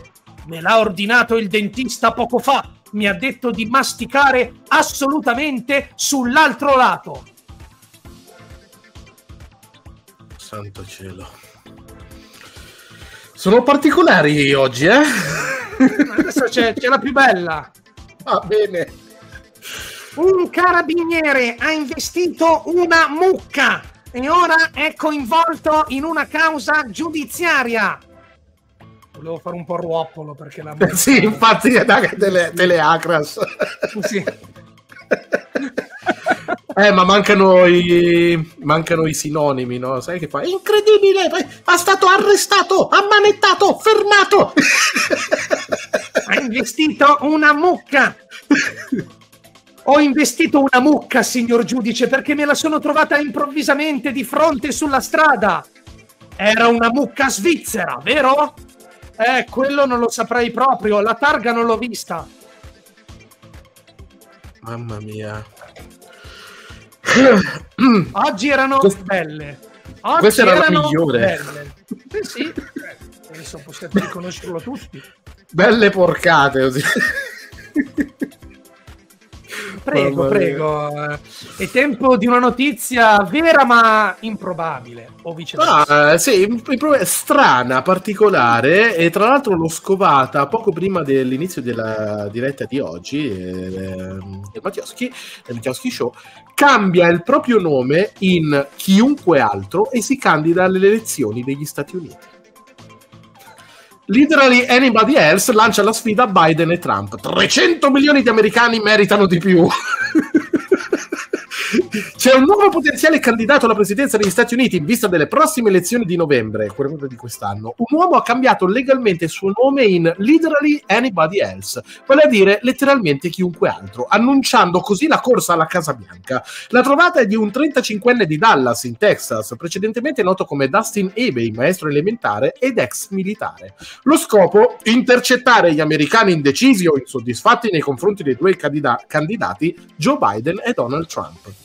300 milioni di americani meritano di meglio. Il nuovo candidato ha detto, secondo quanto riferisce il Guardian, ci dovrebbe essere una possibilità per persone come me che sono stufe di questa appropriazione di potere da parte dei due principali partiti che non avvantaggia la gente comune. Con la sua candidatura intende quindi ribadire l'idea che letteralmente chiunque altro è meglio di Biden o Trump. Una sorta di grido di protesta, ha detto.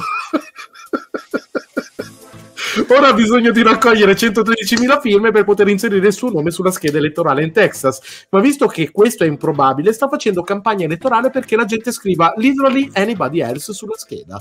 L'America non dovrebbe essere costretta a scegliere tra il re dei debiti e un, un 81enne. L'idea dell'aspirante candidato presidenziale. Secondo me è un genio. Poi il mio voto l'avrebbe. Cioè, mi ricorda, non so se l'hai visto, una commedia con Claudio Bisio, uh, Benvenuto Presidente, mi pare, dove uh, ennese, cioè, elezioni del Presidente della Repubblica in Italia, Uh, si mettono tutti d'accordo per fare il voto nullo e votano tutti Giuseppe Garibaldi. È solo che vanno a cercare Giuseppe Garibaldi, che è un pescatore.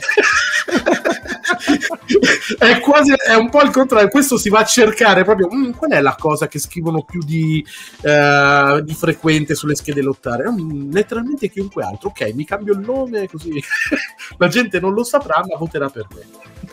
Tra l'altro, eh, nell'edizione del, del, Grande Fratello che si è appena chiusa, eh, hanno segregato questo manipolo di idioti da settembre fino a marzo. Io non mm. so, è diventato un esperimento sociale se non si sono scannati. C'era Giuseppe Garibaldi, eh? Vedi?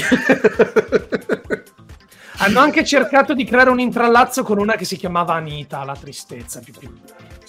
Wow, come, cioè, come alzare lo share proprio. Sì. Wow. Come lo so, merito di grazia delle sue recensioni sul Corriere della Sera che io leggo. Ne sono, ne sono avido lettore, quindi mi informo per vie traverse. Ma, ma, ma, ma, ma, ma adesso De Vollo arriva, eh? Abbandoniamo vai, vai. le meraviglie dell'angolino dell'umorismo e prego, prego, al momento del caro De Vollo con il suo primo quesito. Ti è? Mm. Ah, perché non si sente? Perché è colpa mia.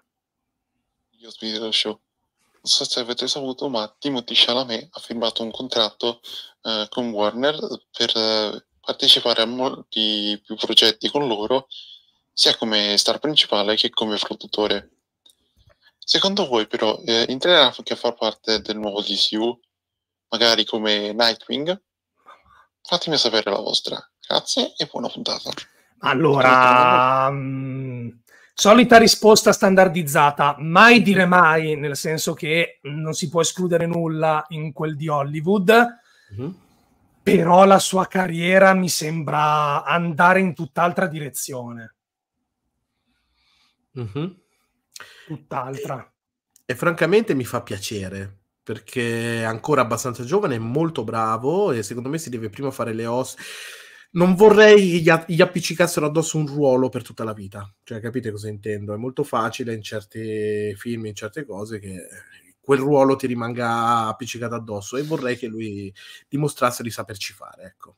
Quando si è votato al commerciale fin qui ha mm. optato mm. per Dune, che è comunque un prodotto sofisticato, certo. e per Wonka, che si rifà una tradizione anche a livello musical che gli permette di, di sperimentare, di, di, farsi vedere anche a livello attoriale e canterino. Certo. Io mh, mm, saranno dei miei limiti, ma attualmente in un contesto supereroistico non riesco davvero a incasellarlo. E guardate, se proprio dovesse scegliere, lo ipotizzo più come cattivo che come eroe che si lega al brand per film e mm. film a venire. Lo utilizzi monouso a un villain e... quello, quello, potrebbe farlo, secondo me. L'hanno fatto sì. in tanti. Sì, una cosa di quel tipo sì. e potrebbe anche essere curiosa e particolare come scelta, un po' inaspettata. Altre cose, no, no. Però oh, sono solo sensazioni personali. Sì, capisco. Infatti io mi sono subito espresso dicendo preferirei vederlo continuare a fare altro. Tutto è possibile, lo sapete. sì, sì. Seconda domanda. E come seconda domanda vi volevo chiedere Avete visto il trailer di Bad Boys 4? E se sì, cosa ne pensate? Grazie ancora. No, perché non ho mai visto i Bad Boys, o meglio, da ragazzino credo fossi in vacanze in montagna, avevo intravisto il primo uh-huh. e non mi stava piacendo per nulla, quindi a un certo punto ho cambiato canale e gli altri non li ho proprio guardati e anche questo non, non attira il mio interesse. Eh, anch'io ho visto solo il primo, me lo ricordo. A me sembrava più che altro un lungo episodio di un telefilm poliz- eh, poliziesco, che, mm-hmm. più che un film, non mi aveva fatto impazzire. eh, mai recuperato i seguiti e non avendo interesse non ho visionato il trailer in questione. Quindi purtroppo sono impreparato sull'argomento, ma abbiamo la domanda di Hughes. Un cordiale saluto a Mattioschi e agli ospiti di oggi. Per la mia rubrica del mercoledì andrò a parlare di un film del 2004 che è derivato da una serie animata canta degli anni 70 e 80. Mi riferisco a Fat Albert, creata da Bill Cosby. Nel film, durante un episodio della serie animata, i protagonisti dovranno passare, passeranno dal televisore alla vita reale per andare ad aiutare una ragazza che è emarginata e non ha amici. Il protagonista si innamorerà della sorellastra di questa ragazza, però do- tutti quanti dovranno rientrare più presto nel cartone animato perché stanno scomparendo, essendo appunto dei cartoni animati. Vorrei chiedervi se lo conoscete, anche solo la serie animata, cosa ne pensate e se l'avete mai visto. Grazie per le risposte. Ma io non ho visto il film e Metapino non conoscevo neanche la serie. Mi ha appena aperto Al- un mondo. Albertone in Italia, Fat Albert. Mai allora, vista. Film, il film non lo conosco, eh, beh, il cartone non lo seguivo, però conosco sostanzialmente questa serie, ideata e non solo uh, da Bill Cosby, uh, eh, dava la voce anche appunto al protagonista Fett Albert, che era questo ragazzone di colore molto, molto uh, grasso. E la serie principalmente dava delle lezioni morali, era anche abbastanza avanti per l'epoca, cioè contro il razzismo, contro queste cose, via discorrendo preferivo altri contenuti, non perché non fossero importanti, eccetera, semplicemente perché da ragazzino seguivo un altro tipo di, di cartoni, ecco. Quindi, boh, tutto qua. Credo che il fatto che sia associato a Bill Cosby per tante ragioni, eh, anche Bill Cosby è, è duro da digerire con quello che ha fatto, eh. È una, co- è una maledizione. Tutto ciò che ha toccato in passato eh, inesorabilmente ci ricorderà chi è Bill Cosby. Chi è Bill Cosby. Non è bella questa cosa. Eh, sì, sì, sì, sì, sì.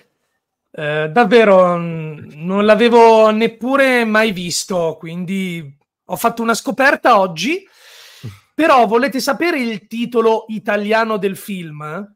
Mm-hmm il mio grasso, grosso amico Albert. Sì. Siccome il matrimonio greco era andato bene. non credo volessero richiamare quello. Ah, dici di no? Secondo me secondo non avrebbe senso, dai, due target totalmente differenti. Eh, ma quando c'è quel giro che funziona, lo ripetono.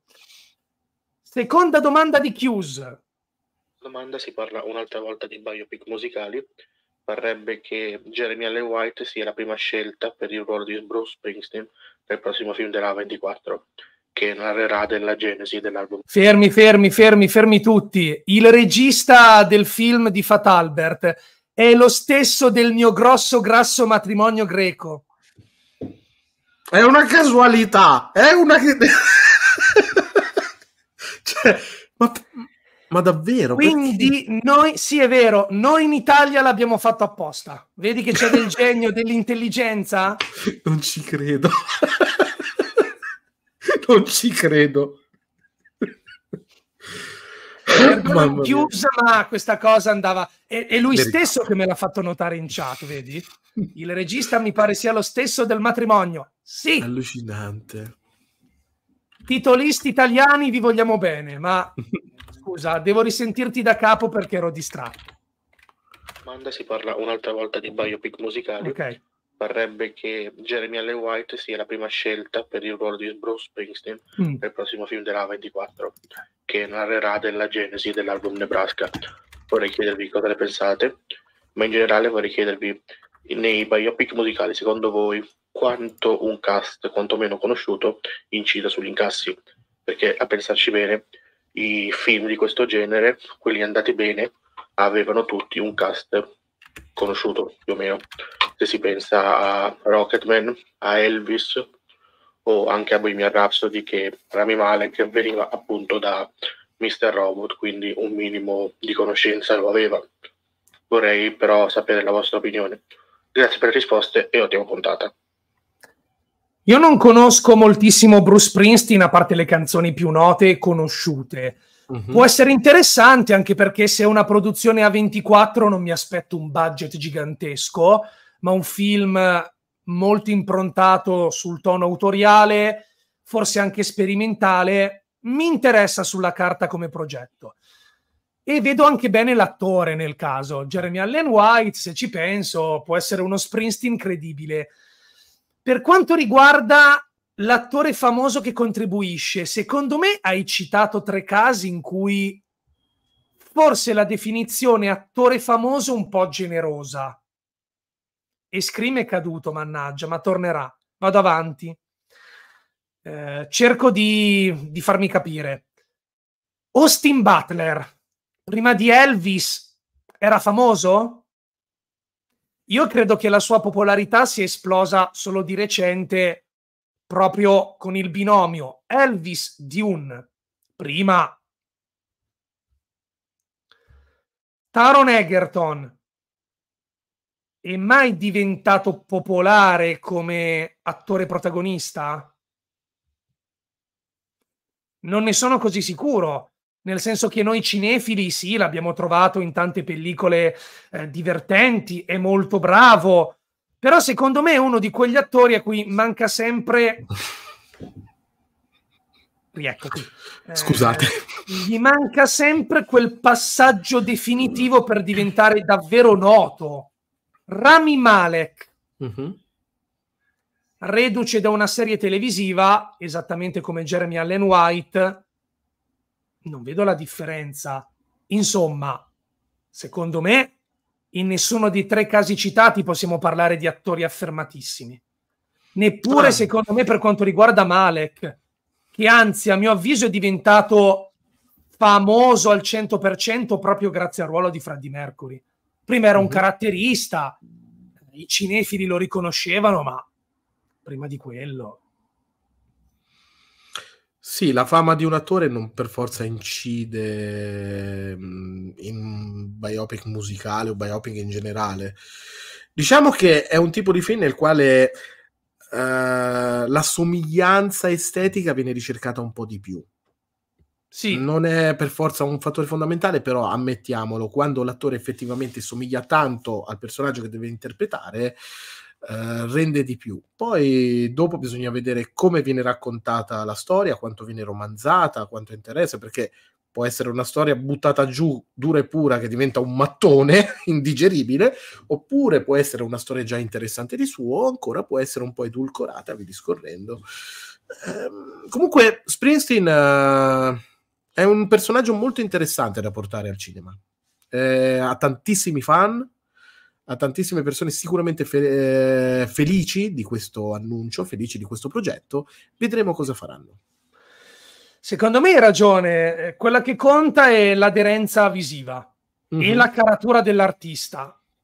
Io non credo che il cast sia in alcun modo rilevante, come non è più rilevante quasi in ogni ambito della cinematografia internazionale, a dirla tutta ad esempio, per interpretare Michael Jackson hanno scelto uh, suo nipote, un parente un comunque. Sì, un suo parente, sì, un nipote o il cugino, non mi ricordo. Ma credo sarà un successone comunque. Non mi sembra un elemento fondamentale. Poi abbiamo la prima domanda di Paolo tutti gli ospiti dello show. La scorsa volta ho fatto una domanda su quali fossero magari quei film e, ehm, che appunto ricordassero degli eventi che eh, si sono poi, diciamo, eh, sono poi, diciamo, avvenuti eh, dopo. Questa volta invece vorrei fare la domanda opposta, ovvero quali film sono stati premonitori di qualcosa. Io ne cito due, uno è diciamo il buco nero di Interstellar che se non sbaglio, Interstellar del 2014 la foto del buco nero era 2020 forse, una cosa del genere, non, però comunque molto dopo, e, e l'altro forse è un, un classico eh, ed è italiano ed è Indagine di un cittadino al di sopra del sospetto che eh, non rappresenta diciamo, eh, l'evento che poi ne è scaturito, ovvero l'attentato ehm, di, la strage di Piazza Fontana, però eh, il, la maniera in cui sono andate le indagini di quello stesso evento ricorda molto eh, quello che, era, quello che si era visto precedentemente nel film. Voi avete qualche altro esempio? Io ne ho due che bene o male vanno a parare sullo stesso aspetto. Vai. anche se visto in modi differenti. The Truman Show e tutti gli uomini del deficiente. The Truman Show arriva prima del Grande Fratello. A livello internazionale eh, non c'era ancora. Probabilmente era un'idea che cominciava a diffondersi nei vari corridoi e proponeva un pubblico che assisteva alla vita quotidiana di questa persona cresciuta all'interno di uno studio televisivo siamo andati assolutamente in quella direzione. I reality hanno dominato il panorama dell'intrattenimento e lo fanno tuttora. Su Twitch, giusto per non andare troppo in là, c'è chi si riprende mentre dorme. Sì, e ti mettono anche la possibilità di attivare un alert con una donazione per provare a svegliarti. Che, che lo innaffia, Ragazzi, sulla locandina di The Truman Show c'era il protagonista che dormiva sul maxi schermo a New York. Ci siamo arrivati, eh? E Scream è andato via un'altra volta. Secondo me ha cliccato sul pulsante sbagliato. Per quanto riguarda invece tutti gli uomini del deficiente, è Pechino Express. Quindi anche in quel caso, posto che prendeva spunto da Rat Race, ma personaggi che competono. Vi chiedo hai schiacciato scusa. sulla X, di la verità. Vi chiedo scusa. Hai schiacciato sulla X. Ti ho visto sì, proprio, ho sentito il click e tu sì, uscivi. Ma stavo chiudendo un'altra finestra. Non so perché sto giro. Prima sono caduto, adesso boh, vabbè, non toccherò più nulla fino alla fine, promesso. Bravo. Uh, allora, uh, di... chiudo con tutti gli uomini del deficiente. Non solo c'è la dinamica alla Pechino Express, ma eh, nell'introduzione di quel film si parlava di questo imprenditore Leone Stella mm-hmm. che veniva visto di malocchio perché era portatore di idee particolarmente innovative e ad esempio distribuiva i suoi videogiochi gratuitamente sul web vi garantisco che quando da bambino guardavo il film, ma quando mai? Fantascienza. Eh sì, proprio. Eh, io invece metterei... Partirei da George Orwell col suo 1984 e i film derivati tipo Essi vivono, eccetera, che tra fantascienza, eccetera, eccetera, in realtà descrivono qualcosa di molto simile per tanti versi alla società di oggi, con la pubblicità opprimente che indirettamente ti suggerisce cosa desiderare, cosa fare, via discorrendo. George Orwell era avantissimo. Però, tolto quello, io dico tantissimi prodotti che mostrano un futuro che in realtà si è realizzato. Eh, mi sento di citare Super Fantozzi. Lo so che sembra... cioè, no... Però vi ricordate l'ultimo sketch, quello ambientato nel futuro? Dove c'è questa stanza vuota dove con dei comandi tirano su il tavolo, tirano su quelle sedie, viene giù.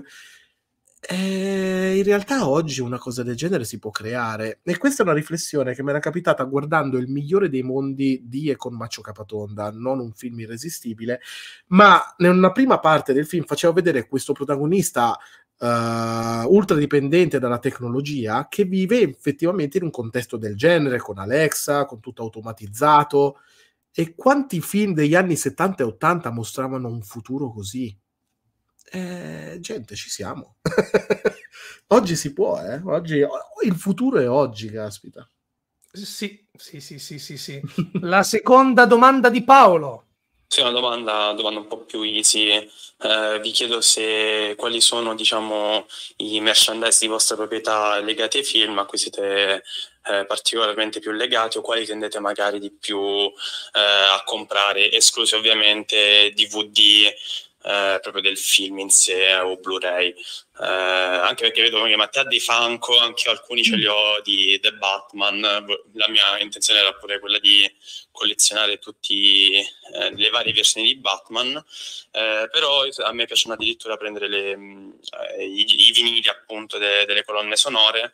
Uh, l'ultimo che ho preso è quello di, di Oppenheimer, però anche, uh, che ne so, Saturday Night Fever, Rocky, uh, Pulp Fiction, Django, mo- molti diciamo. voi a quali siete particolarmente legati e quali vi piace appunto collezionare o comprare? È una domanda che arriva un po' nel momento sbagliato perché non ho spazio in casa, quindi non sto comprando quasi più nulla. Eh, ad esempio con i Funko ho smesso, ma in generale mi hanno un po' stancato. Uh, comunque ho completato la collezione di Lost, quindi va bene. Uh, però dai, alcuni li vedete, Woody sinceramente ci sono molto legato. Uh, la maschera di Scream me l'hanno data all'anteprima di, di Scream 6. poi mh, conservo ancora le versioni estese del Signore degli Anelli, anche se ho intenzione di ricomprarle in 4K eh, oggettistica particolare non, non, credo di averla. Beh, eh, il Lego della cantina di Mos Eisley che non sono ancora riuscito a montare perché giusto appunto non ho spazio, ma mi farebbe davvero tanto piacere, tanto. Io non sono tipo che acquista questo genere di merchandise, infatti non avrei nulla da mostrare se non qualcosa di particolare unico, non raro, unico. Certo, non si parla di qualcosa di veramente famoso, ma se parliamo di Funko, vi presento i Funko dei miei personaggi. Io ho i miei Funko Pop, gente. Mi hanno fatto che meraviglia! Con una stampante 3D colorati a mano, che purtroppo si sono un po' rovinati alcuni perché eh, la gatta ha detto no, sono brutti, in realtà sono bellissimi. E niente, volevate vedere qualcosa? E io vi mostro me Ecco. li devi produrre, devi creare un tuo shop dove li metti in vendita. No, no nessuno li comprerebbe. Questo lo a dici tu. Te. A parte te. Ah, ecco. Quindi, ecco fatto, i miei fanco, i miei fanco. Per... Francesco Gervasi. Ciao Mattia e ciao Scream. Questa mattina ho visto il terzo episodio di X-Men 97 che ho trovato ottimo quanto i primi due e ho visto anche il corto animato relativo a Miles Morales che la Sony ha rilasciato da pochissimo su YouTube. Quindi vi chiedo, visto che questi due prodotti animati hanno in comune una cosa, ovvero dei tratti horror, qual è stato secondo voi un momento horror ben riuscito, ben realizzato in un prodotto animato? Grazie per le risposte e un saluto a tutti. Uh, da dove iniziamo? Ciao, Biancanevi Sette Nani? oh, beh, guarda che la Disney è piena di horror. Anche la faccia del, um, del cocchiere in Pinocchio, quando gli fanno sì, il primo piano malvagio, sì, era... Cioè, se guardiamo la Disney, è, è horror. La mia Però... infanzia è piena di traumi disneyani, ma, ma veramente legati a Biancanevi in particolare. Eh, la foresta con gli alberi dai volti mostruosi, mm-hmm. la mhm. trasformazione della regina cattiva, sì. anziana cattivissima. Ero, mo- ero, molto piccolo, eh, certo, però me-, me li ricordo ancora come momenti di shock. Li vado direttamente a parare lì, subito. Eh, sì, sicuramente, ci sono tanti momenti shock. Se andiamo a vedere un po' più nello specifico, eh, in prodotti magari impostati per essere horror, suggerisco Monster, ci sono dei bei momenti in Monster che è una, è una serie anime molto adulta e drammatica. Mm. Ah, certo. Sì, sì, oppure non lo so. Uh, solo volete... animato. Ho un altro esempio un po' particolare perché in quel caso si cercava di far ridere, ma come al solito ero bambino. È stato il mio primo approccio con i Simpson, a dir poco traumatico, tant'è vero che prima di rivederli e adorarli alla follia, ho aspettato un pochino. Ero in montagna dei miei zii, zapping, capitano i Simpson che, lo so che sembra strano, mi erano visti come un prodotto proibito quindi i miei genitori in genere cambiavano canale quando c'erano. e mi è capitato uno speciale di, di Halloween, in particolare mm. quello in cui um, eh, Barnes si fa impiantare nel corpo di Homer. sì, la testa, fare il mostro oh, di cefalo. Trauma, anche perché non sapevo che fosse uno speciale da prendere a sé isolato dal resto. Credevo che quello che succedeva fosse definitivo. cioè, fosse la trama dei Simpson che andava avanti, quindi trauma assoluto e ciao per, per diverso tempo. Beh, allora c'era quella del, dei Griffin, episodio autoconclusivo che non, non, è, non è definitivo, quello della fine del mondo. Quando... Non l'ho mai visto. No, è primissima no. stagione praticamente è la fine del mondo per il Millennium Bug. No, aspetta, forse, forse, sì, se è la prima stagione mi viene in mente qualcosa. Col Millennium Bug, tutti... E loro, cioè perché secondo Gri- eh, Peter Griffin solo una cosa resiste alla fine del mondo, che è la fabbrica dei biscotti di, di Netic, eh, e vanno lì dove incontrano anche Andy Newman che mette in musica, su musica tutto quello che vede. con Stewie che con le radiazioni sviluppa i tentacoli, diventa una sorta di mostro che fa le uova. Cioè... Era folle, me lo ricordo. Però che fanno paura, paura. Beh, c'era. Mm, com'è che si chiamava? Elfen Lead, molto splatter, c'aveva qualche momentino particolare, anime anche quello. Poi io ricordo più che altro dei manga più che degli anime, con dei momenti wow tipo Parasite che hanno fatto l'anime ma non l'ho visto, io l'ho prima letto, era parecchio inquietante. Uh, Manhole, boh, cioè, ci dovrei pensare bene però. ci sono dei momenti simpatici nell'horror. Poi quelli Three House of Terror dei Simpson a me facevano soprattutto ridere, difficilmente mi spaventavano. Bene, bene, dai, una domanda della chat per chiudere. Io, io, sono favorevole a ciò, abbiamo ancora qualche minuto, dovete essere rapidi però, rapidi, rapidi sulle vostre tastiere. Dai, dai, che una la leggiamo.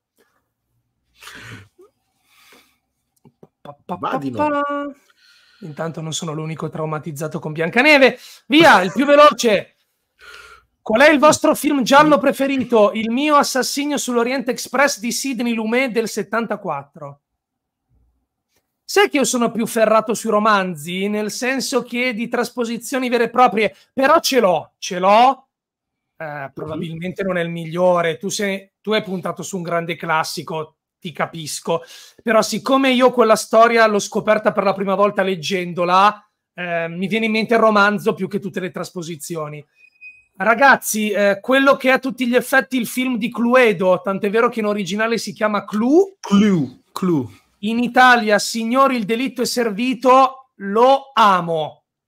È anche è una parodia del genere, però allo stesso tempo un giallo non direi valido perché chiede tanto alla sospensione dell'incredulità ma che intrattiene, diverte, sorprende. Sì. Sono d'accordo, è da riscoprire. Però lì è un, è un film molto, molto, molto carino. Bene. Io me la, posso, me la, posso, giocare con qualcosa che include anche giallo tra i suoi generi, pur non essendo un giallo puro. Certo. Mm. Io la butto lì, accettamela. Io butto un The Eightful Eight. A me piace tanto. Lo so che eh, non è proprio un giallo puro. No, no, però... ma io invece sono d'accordo. Infatti, è forse il mio film preferito di Tarantino, il che mm. è dir tanto, proprio per quella componente. E quindi io ci okay. sto. Ok, allora va- vada per The Eightful Eight. sì, sì, sì, sì, bravo, bravo, bravo. Uh, dai, dai, un'altra bella rapida. Qual è il vostro videogioco preferito tratto da un film o da una serie? Beh, io devo citare tutti i giochi della Lego, sono fantastici.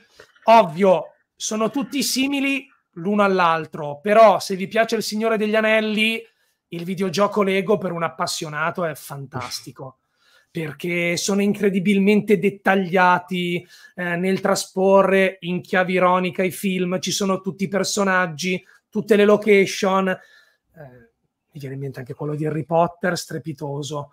Uh, se dobbiamo uscire dai confini Lego, tratto da film e serie sono venute fuori tante zozzurie, eh, il videoludico. È vero, è vero.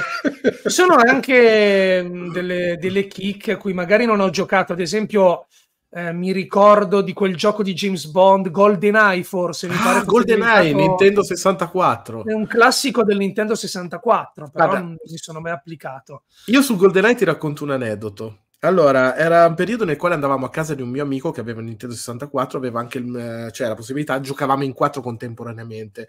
Il problema è, f- facevamo i deathmatch tutti contro tutti, in quattro, solo che aveva solo tre controller e io giocavo a GoldenEye col volante e i pedali, gente. E il problema è che ero anche bravo. Cioè, io sparavo, lasciavo, lasciavo granate col volante e i pedali. Cioè, dovevo accelerare per correre.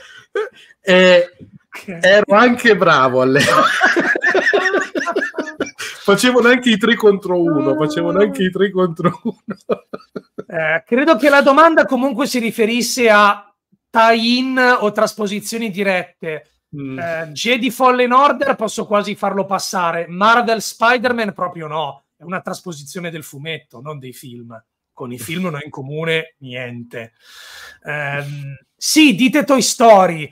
Ehm, i- quello del 3 non l'ho mai provato. Il primo ce l'avevo per Sega Mega Drive, difficilissimo, ma l'avevo terminato dopo aver sputato sangue. Il secondo era molto carino, c'era addirittura una componente, non oserei dire free roaming, ma comunque vagavi per delle mappe all'epoca abbastanza ampie. Eh, altri che mi vengono in mente, ma ce ne sono davvero tanti. Dragon Ball Z Budokai Tenkaichi 3. tutti i vari giochi di Dragon Ball. Ma visto che avete segnalato Harry Potter, ora è un gioco che effettivamente ha diversi limiti. Mettiamo da parte quelli classici che sono dei giochini per, per ragazzi che però per me hanno un'atmosfera veramente magica, quindi sì, sì, pietra filosofale, camera dei segreti. Però Hogwarts Legacy eh, mi ha fatto emozionare in modo inaspettato. Eh, mi capitava di arrivare in alcuni punti della mappa e rimanevo lì a bocca aperta. Quindi per me è validissimo. Allora, io ne cito due molto vecchi che... Allora, uno bello, all'epoca era per eh, il NES, il Nintendo 8-bit, gente, tratto dalla serie di Mission Impossible, la serie televisiva. là là. Era difficilotto per un bambino, un ragazzino, ma io l'ho finito tipo 5-6 volte. Ogni volta che lo finivo era una grossa soddisfazione. Era tosto. È bello che potevi switchare tra tre personaggi. Ce n'era uno lentissimo che sparava e aveva le bombe ed era giustificato dal fatto che fosse lento perché pieno, era pieno di peso. Uno che correva tantissimo, che era la, la gente di colore che tirava i pugni, però cioè, era a corto raggio, ma era velocissimo. E c'era quell'altro che andava così così che lanciava i boomerang e era giustificato dal fatto di non essere velocissimo perché da manuale avevo una storta alla caviglia. Lo mandavano in missione. Sì.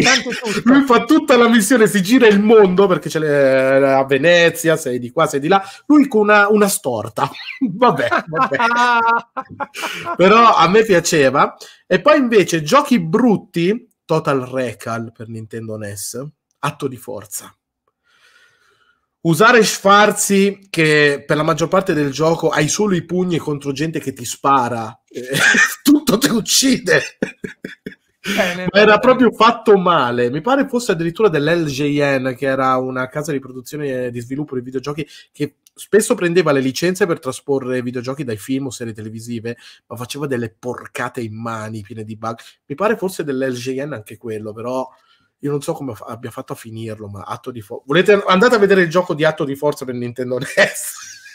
Mi stavo dimenticando di Indiana Jones, assolutamente. Indiana Jones and the Fate of Atlantis, per quanto mi riguarda, è il quarto film mai realizzato. E Mm. poi, ah, i gestionali di Jurassic Park. ah, è vero, ci sono anche quelli. Quelli action di solito fanno tutti schifo, ma i gestionali sono sempre stati bravi, devo dire, sempre. Mm. Infatti, vale la pena di essersi sorbiti i Jurassic World solo per i due gestionali che hanno fatto. Perché i film sono orribili. Va bene, grazie Scream per aver partecipato. Ma figurati, sono io che ringrazio te, ringrazio voi della chat e voglio concludere con uh, sfatando un mito. E.T. per Atari viene considerato uno dei giochi peggiori mai fatti, se non il peggiore. Non è assolutamente vero. Avete mai visto i giochi per l'Atari? E.T. era brutto come un gioco dell'Atari. Eh, non è che fosse il più brutto in assoluto, fidatevi. Però commercialmente parlando era stato veramente sì. un tracollo brutale. Sì, commer- commercialmente sì. ci salutiamo, ci vediamo alle 17 per chiudere la retrospettiva congiunta Alien Predator. È stato un viaggio lunghissimo che termina con Prey, l'ultimo arrivato. Quale sarà la prossima retrospettiva? Lo scoprirete solo alla fine della diretta di oggi pomeriggio domani alle 14 Mattioschi Show, domani alle 17 analizziamo, recensiamo la terza puntata di X-Men 97. Perfetto ragazzi, ciao, grazie per essere stati con noi e alla prossima diretta. Ciao a tutti, ciao. Ciao.